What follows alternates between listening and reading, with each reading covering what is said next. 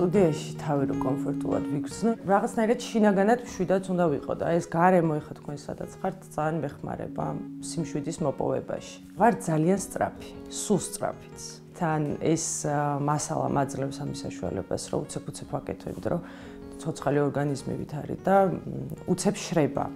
რეზულტატიც ძალიან სწრაფად გამომდის ხოლმე. მთელი პროცესი გადის ჩემს ხელში. როგორც წესი, რადგან ძირითადად სკულპტურებზე ვმუშაობ, ეს სკულპტურები არის დაპატარავებული ესეთი პატარა ესკიზებივით, რომ მე სამომავლოდ ოდესმე როცა ამის დრო მოვა, სხვა მასალაში, შეიძლება მეტალში იყოს, შეიძლება ქვაში იყოს, გადიძდებიან და უფრო დიდი ზომის გახდებიან. ჩემი პირველი ნამუშევრები ერთად გაკეთდა ესე სერიასავით. როცა მივედი სტუდიაში, სადაც კერამიკა ისწავლებოდა, მივედი იდეით, სკეჩებით, რომ მინდოდა პირდაპირ სკულპტურები გამეკეთებინა. აი ესე მოხდა, მე აი ესე გაგრძელდა. ეს არის რაღაცა ნაფიქრის, ნანახის, მე გადმოტანილი რა. აი მაგალითად ჭრილების თეატრში ვიყავი მსახიობი 4 წელი. მე რე აღმოვაჩინე წლების მერე რომ ეს დამეხმარა ამ სამგანზომილებიანი ნივთების თურმე საიდან მოდის? და მე რაღაცნაირად ესე დავაკავშირე მიხვდით? ესე პირდაპირ რაღაცა გააზრებულად არ ყოფილა არის რაღაც ჩემი ნამუშევრები რამოდენიმე ნამუშევარი ზოგი ლიტერატურული პერსონაჟი არის. არის ეს რაღაცა თვალით დამახსოვრებული გააზრებული ვიღაცის ნათქვამი რაღაცა ნანახის ყველაფრის ერთობლიობა და მე ძალიან ბედნიერი ვარ რომ ამენაზე ვსაუბრობ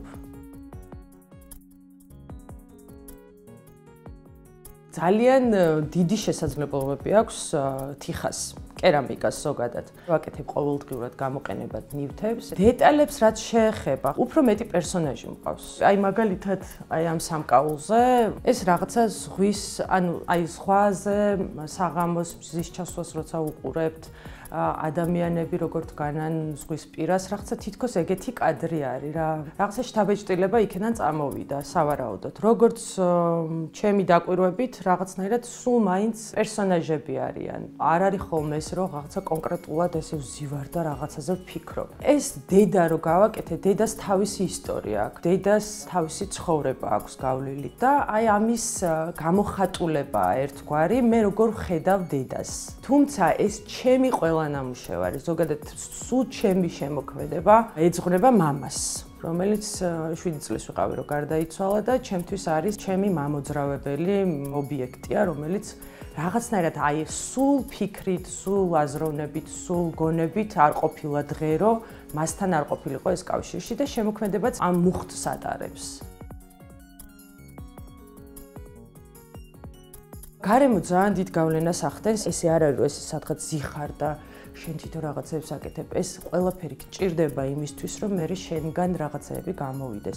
პირველი გამოფენა, ეს სკულპტურები რომ დავასრულე, ეს პირველი სერია, სიტყვები, ნიუ-იორკში 2015 წელს იყო გამოფენა Art Fair-ი. სადაც ჩემი ნამუშევრები წაიღეს, მე ამან მერე მომცა საშუალება, რომ უფრო თამამად მეკეთებინა მერე შემდეგი ნამუშევრები. მერე იყო ბრიუსელი, მერე ესპანეთში მქონდა ის ისევე art fair-ზე, მადრიდში არის ესეთი Van Gogh art gallery, სამი ჩემი ნამუშევარი გამოიფინა იქ, რომელსაც ძალიან კარგი რეზულტატი მოყვა. ეს დაგეგმილი არ მქონდა რომ რაღაცა სერიები ყოფილიყო. უბრალოდ ერთად რადგან გაკეთდა ეს გამოვიდა ესეთი სერია. სიტყვები რომელიც ჩვენთვის, ჩემთვის პირადად ძალიან ბევრს ნიშნავს. იქ არის we, mother, queen, qu, აა ასე შემდეგ და ასე შემდეგ. ეს სიტყვები რაღაცნაირად აა იდეურად მე მინდა რომ ერთ რაღაცა სივრცეში მოიყაროს თავი და შეიძლება მოხდეს ისე რომ ერთი წინადადება ძალიან საინტერესო წინადადება გამოვიდეს. ეხლა ვმუშაობ ტყუპებზე. ეს მგონია რომ იქნება სერია, რომელსაც სულ გავაკეთებ. ყველაფერი მანიჭებს დიდ სიამოვნებას. მოზელვიდან დაწყებული ბოლო რეზულტატამდე დამთავრებული, იმიტომ რომ კერამიკას აქვს ხასიათი. ქართულ თიხას ქართული ხასიათი აქვს. ძალიან ცოცხალი ტიპი არის. შენ ჭკუაზე მოყვანა სჭირდება რა, დამორჩილება ჭირდება, იმიტომ რომ ცალკე ტიპი არის, რომელსაც მე შენსკენ ესე მოკაჩავ და ისეთი გახდება, როგორიც შენ გინდა. ამიტომ ყველანაირი პროცესი მსიამოვნებს.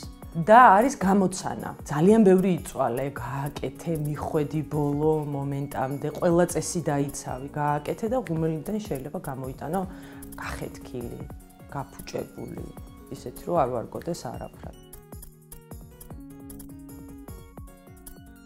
სკულპტურებს როცა აკეთებ, მიახლოებით მაინც უნდა იცოდე რა გინდა.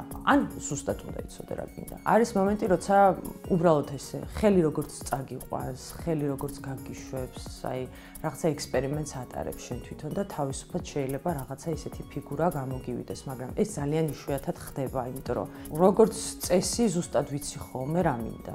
რისი თქმა მინდა. ბედნიერება, როცა არტისტი საკუთარ თავს იპოვის, იპოვის მასალას, რომელშიც მოსწონს მუშაობა, რომელიც გამოხატავს მის შინაგან მდგომარეობას, შეუძლია კარგად გადმოსცეს რაღაცეები. მართლა ძალიან ბედნიერი ვარ, რომ ამ კონკრეტულ რაღაცამდე მივედი, იმიტომ რომ არიან ადამიანები, რომლებიც მთელი ცხოვრება რაღაცას ეძებენ და შეიძლება ვერც იპოვონ.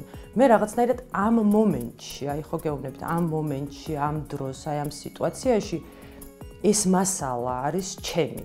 იმდენად შვიდაც და კარგად ვგრძნობ თავს, ამის გარდა არაფრის კეთება არ მინდა.